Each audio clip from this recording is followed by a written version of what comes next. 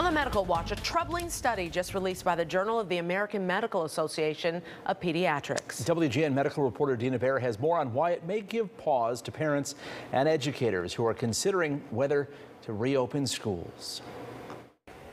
The study looked at SARS-CoV-2 viral levels in children. That's the virus that causes COVID-19. And the younger the child or baby, the higher the viral loads in their nose, which means even if they're not sick, they could spread disease to at-risk family members.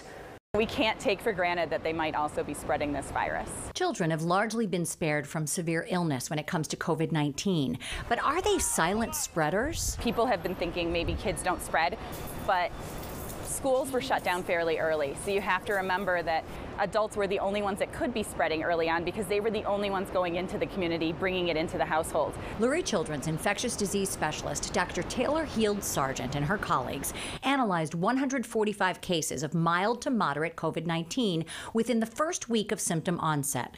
They looked at viral load in those younger than five years old, then compared the numbers to different age groups, including 5 to 17 year olds and 18 to 65 year olds olds. Everyone was swabbed the same way, sent to the lab as part of their routine clinical care. And then we just happened to notice that our babies and our young kids under five seem to have very high levels. And when we did the math, they definitely did. Unlike what's been found in adults, the higher viral loads didn't correlate with severity of illness. It's pleasantly surprising that kids are not getting very ill despite having so much virus in their nose and in their upper airway. Maybe it's because it's not getting into their lower airway where it starts to cause the pneumonias. I don't know. That's something that everyone's looking into. Why don't kids get as sick? But it's it's nice that it's not happening. But doctors do know from studying other infections, the more virus a patient carries, the more easily it can be spread. Combining that with the behavioral habits of young children, I have two at home. They're not the best at washing their hands and not touching their face and then touching everyone else and all of their things.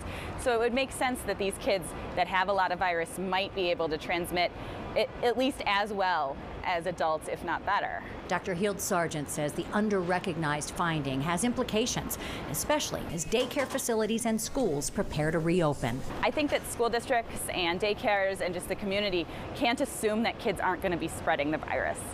Dr. Heald Sargent says as kids reemerge in the community, we may see an uptick in pediatric cases. There has been a rise in the southern states. Back to you.